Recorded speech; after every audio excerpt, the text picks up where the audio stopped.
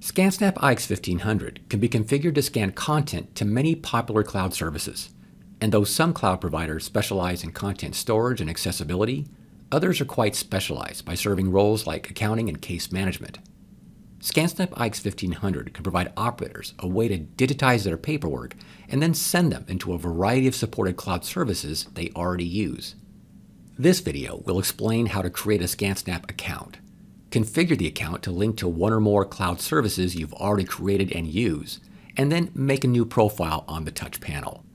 Now, before I begin, this tutorial assumes that the scanner has already been installed to operate wirelessly, so that ScanSnap can operate as a standalone device, separate of any computer, and already connected to a wireless router with access to the internet. This will allow a PDF file created by ScanSnap to reach ScanSnap Cloud and then transfer to your preferred cloud services automatically.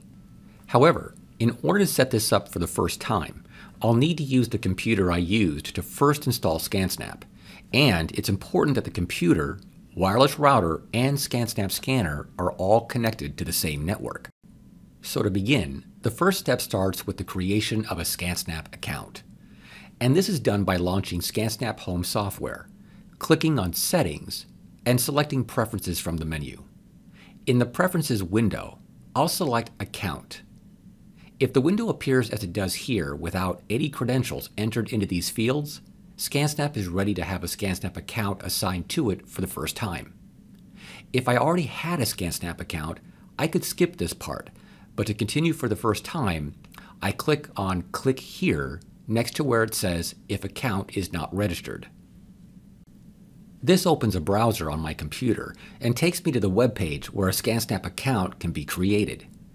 Here on the left, I'm going to click on the button that says ScanSnap Account Registration and then I'm going to accept the various terms and conditions and privacy policies necessary to create the ScanSnap account that'll create and facilitate ScanSnap Cloud to automatically transfer content between my ScanSnap and my favorite clouds.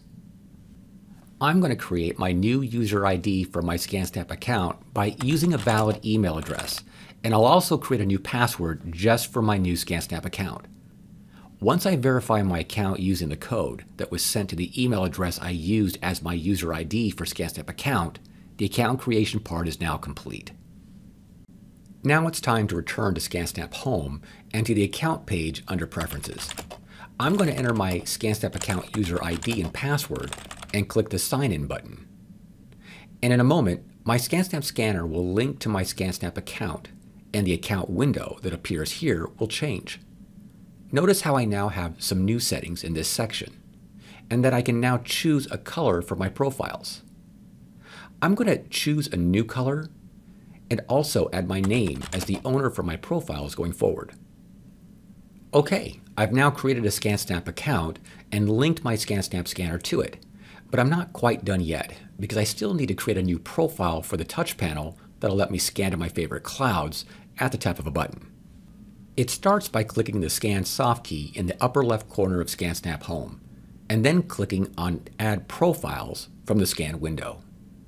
This opens the Scan Settings window, and from here I can see a list of scanning templates, each pre-configured for a specific scanning intention.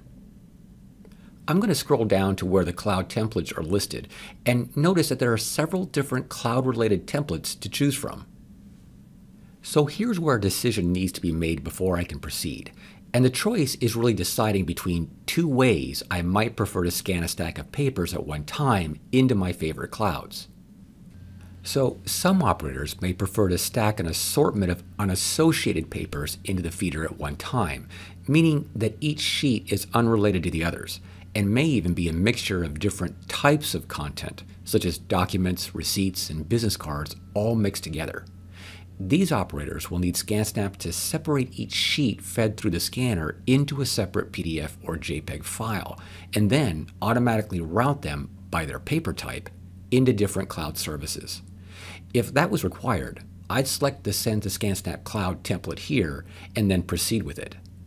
However, in my case, I prefer to scan my paperwork as a batch of associated paperwork, meaning that all the sheets in the stack belong together, like a utility bill that may be several consecutive pages, and then have all those sheets combined into one multi-page PDF file which will then go into a single cloud service that synchronizes across all my other devices.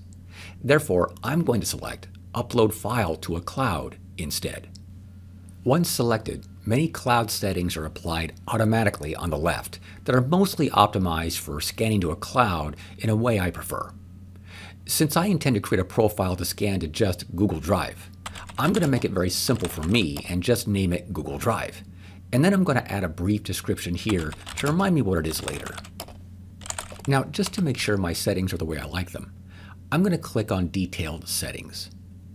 And on the Title tab, I'm going to select to have hyphens placed in the date applied in the creation of the file name. And on the File Format tab, I'm going to make sure PDF is selected, as well as Convert to Searchable PDF, because I want the content of my PDF files to be searchable as well. On the Scan tab, I just want to make sure these settings are all set to automatic and that blank page removal is enabled here at the bottom. As for the File Size tab, everything looks pretty good, so I'm just going to click OK. Now, because I want ScanSnap to scan to my cloud service without going through my computer first, I want to make sure ScanSnap Cloud is selected here, which it is. And now I need to select the cloud service that I want ScanSnap Cloud to pass my scans into automatically. So I clicked Select next to Cloud Service, and this opens a new window that shows me all the supported cloud services I can use with my ScanSnap. As new cloud services are added, they'll appear here as well. For now, I'm going to select Google Drive as my cloud of choice for this profile. Because I'm linking a third-party cloud service to my ScanSnap, I'll need to verify my identity with that cloud service provider and provide them my permission, so I may need to do some extra security steps that they require or that I might have set up with that vendor, such as two-step verification. When it's done, I'll click to return back to ScanSnap Home to finish the creation of the profile. Google Drive now appears as the selected cloud. And because I had already created a special folder called My Scans inside my Google Drive account, I'm going to browse for that preferred folder now and select it. And now you can see that Google Drive is selected with My Scans as the target folder within it. Everything is pretty much done, so I'm going to click Add at the bottom, and in a few seconds, the new profile I just created will appear on the scan window as well as on the touch panel display.